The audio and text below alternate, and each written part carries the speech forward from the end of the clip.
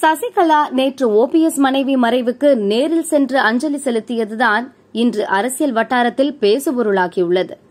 ஜெயலலிதா மறைவுக்கு பிறகு முதலமைச்சராக பொறுப்பேற்ற ஓபிஎஸ் அடுத்த சில நாட்களில் ராஜினாமா செய்தார். உடனே சசிகலா முதலமைச்சராக பொறுப்பேற்ற வேலைகள் நடந்தது. ஆனால் அதற்கு தடையாக ஓபிஎஸ் செய்த தர்ம யுத்தம் அமைந்தது. அவர் ஜெய் சமாதியில் அமர்ந்து தியானம் செய்ததோடு செய்தியாளர்களிடம் தன்னை மிரட்டி கையெழுத்து வாங்கினார்கள் என்றும் ஜெயலலிதா மரணத்தில் மர்மம் இருப்பதாகவும் பேசினார்.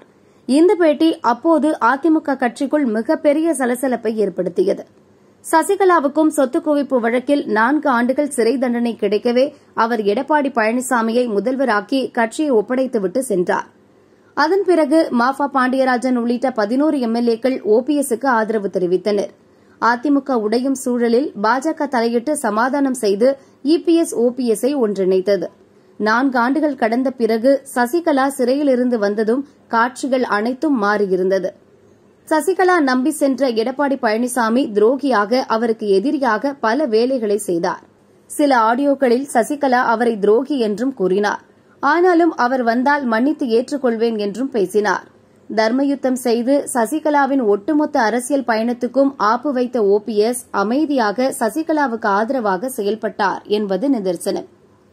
மதுசூதனன் மறைவின் போது சசிகலாவை பார்த்து ஓடினார் எடப்பாடி. இந்நிலையில் ஓபிஎஸ் மனைவி நேற்று மாரடைப்பால் உயிரிழந்தார். அவரது உடலுக்கு நேரில் சென்று அஞ்சலி செலுத்தினார் சசிகலா.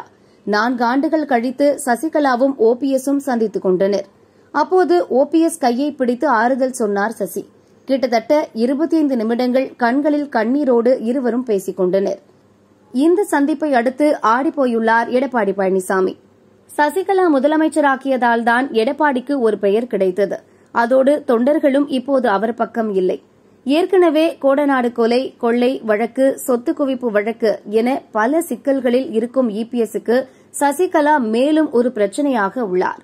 தற்பொழுது நிகழ்ந்துள்ள ஓபிஎஸ் சசிகலா சந்திப்பு அதிமுகவுக்குள் மிகப்பெரிய டுவிஸ்டாக அமையலாம். விரைவில் சசிகலாவை ஓபிஎஸ் அதிமுக தலைமை அலுவலகத்துக்கு அழைப்பார் என்றும் சசிகலா ஆதரவாளர்கள் பேசி வருகின்றனர். அதோடு அவர் பொதுச் செயலாளராகவும் பதவியேற்க உள்ளாராம்.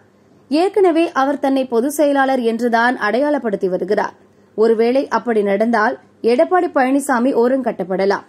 எதிர்க்கட்சித் தலைவராக ஓபிஎஸ் நியமிக்கப்படலாம். என்ன நடக்கும் என்பதை பொறுத்திருந்து பார்க்கலாம்.